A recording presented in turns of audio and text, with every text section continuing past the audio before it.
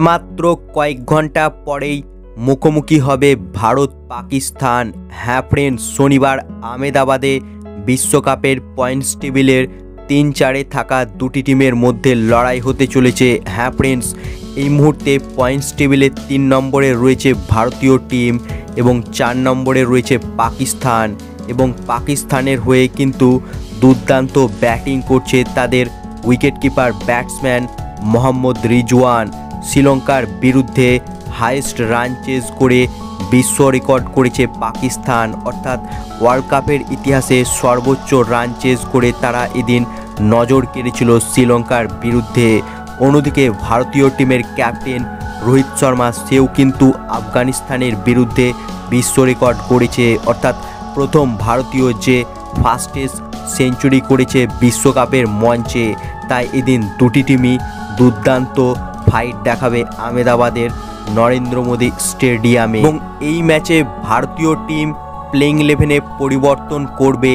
হ্যাঁ ফ্রেন্ডস ভারতীয় টিমের ওপেনার ব্যাটসম্যান শুভমান গিল সুস্থ হয়ে দলের সঙ্গে যোগ দিয়েছে এবং এই ম্যাচে আমরা তাকে খেলতে দেখতে পাবো। তাই এই ম্যাচে ঈশান কিষানের পরিবর্তে শুভমন গিলকে খেলাবে ভারতীয় টিম বাকি আগের ম্যাচের মিতুনি সেম প্লেইং ইলেভেন থাকবে ভারতীয় টিমের। সো এক নজরে দেখে নেওয়া যাক পাকিস্তানের বিরুদ্ধে ভারতীয় টিমের একাদশ কেমন হতে চলেছে। সো এক নম্বর ওপেনিংয়ে থাকবে রোহিত শর্মা ও শুভমান গিল। তিন নম্বর বিরাট কোহলি, চার নম্বর শ্রেয়াস আয়ার, পাঁচ নম্বর কে এল রাহুল, ছ নম্বর হার্দিক পান্ডিয়া, সাত নম্বর রবীন্দ্র জাদেজা, আট নম্বর শার্দুল ঠাকুর ন নম্বর জাসপ্রীত বুমরা, দশ নম্বর কুলদীপ যাদব ও এগারো নম্বর মোহাম্মদ সিরাজ।